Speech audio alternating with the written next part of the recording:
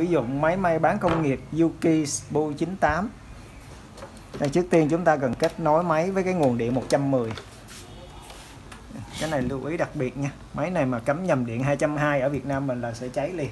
Nó phải qua cục biến áp chuyển qua điện 110 Rồi, mình sẽ giới thiệu những cái trên máy. Đây là bộ phận đánh suốt. Đây là chỉnh chỉ chặt lỏng. Đây là nén chân dịch.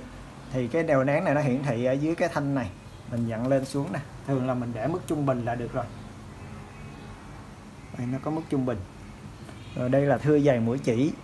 Đó, nó sẽ tương đương với lại số mm. Đây là lại mũi ấn xuống là cần lại mũi. Rồi, để xài máy này thì chúng ta sẽ xỏ chỉ đánh suốt. Đây là suốt chỉ. Thì suốt của máy này thì nó sẽ có một cái rãnh. Đó. mình kiếm suốt mà có một cái rãnh thì mới đánh được. Suốt công nghiệp nha. Chúng ta thả vào và xoay cho cái rãnh nó rớt xuống cái ngàm từ từ ống chỉ. Ống chỉ chúng ta để nó sẽ xả lên, chứ không à, kéo ngang như vậy, phải xả lên. Xả lên thì chúng ta có thể sử dụng được ống chỉ to luôn. Đó, nó sẽ nhẹ nhàng hơn là đi ngang. Rồi, chúng ta kẹp vô cái đồng tiền đánh suốt từ phía mình nè. Kẹp qua thì nó sẽ đè sợi chỉ như thế này. Nó sẽ không có bị bung sợi chỉ ra ngoài. Chúng ta quấn vào con suốt theo chiều kim đồng hồ.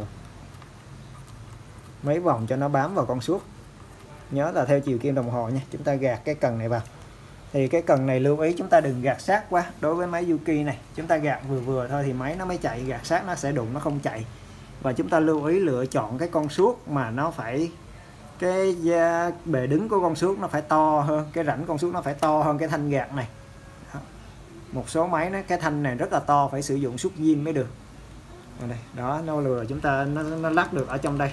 Lọt vô là chúng ta có thể đánh được rồi chúng ta chạy thì máy nó sẽ tự đánh suốt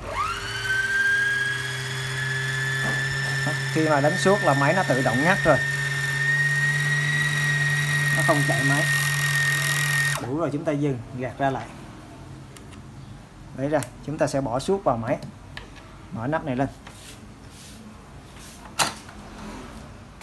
Chúng ta nhớ xoay kim lên trước khi lấy cái thuyền suốt ra. Kéo vào cái ngào này. Lấy cái thuyền ra rồi chúng ta dốc. Cái ngàm này chúng ta phải thả ra thì mới dốc được suốt ra. Suốt có chỉ chúng ta bỏ vào. Kéo vào cái rãnh này. Cái rãnh này. Đó. nếu mà chúng ta bỏ chiều nó đúng á, thì chúng ta kéo sợi chỉ về chiều này thì con suốt nó sẽ xoay về chiều kia. Đó là đúng.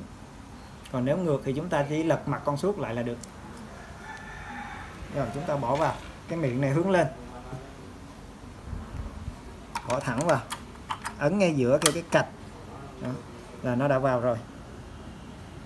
Chúng ta bắt đầu xỏ chỉ trên. Chỉ trên không xỏ vào đồng tiền đánh xuống nữa mà xỏ xuống tay. Cái ba lỗ này thì chúng ta xỏ như thế này từ trên xuống. Và chúng ta bỏ cái lỗ giữa chúng ta xỏ từ trên xuống lỗ thứ ba. Nhớ nha từ trên xuống thôi thì chỉ nó sẽ sống như vậy. Nó chạy nó sẽ ổn định hơn.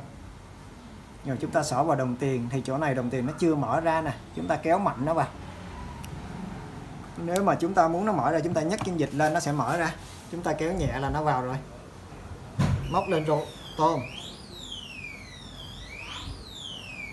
xuống đây.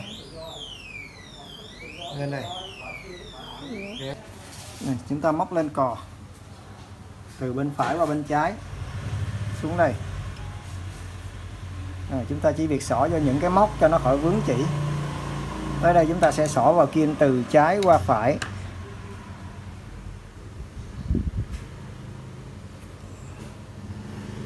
Rồi chúng ta sẽ lấy chỉ lên như máy công nghiệp tay trái cầm sợi chỉ tay phải xoay vô lăng một vòng. Nhớ là xoay theo chiều máy chạy một vòng cho kim lên hết và hơi xuống một tí cứ theo chiều máy chạy nha một chiều thôi chúng ta hãy lấy chỉ lên rất là nhẹ nhàng.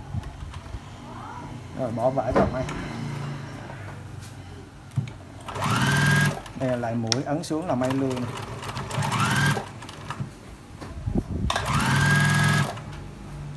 Khi mà may máy nó sẽ tự động dừng cây kim ở vị trí cắm xuống.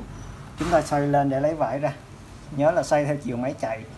Kim lên hết và hơi xuống một tí. Đó là cái điểm chuẩn để mà lấy chỉ ra phía sau à, mình cũng xin thế, giới thiệu thêm về cây kim của máy này. Nó sẽ sử dụng kim máy may công nghiệp DB DB bò đó, cái thân của nó sẽ là thân tròn cái đuôi kim là đuôi tròn.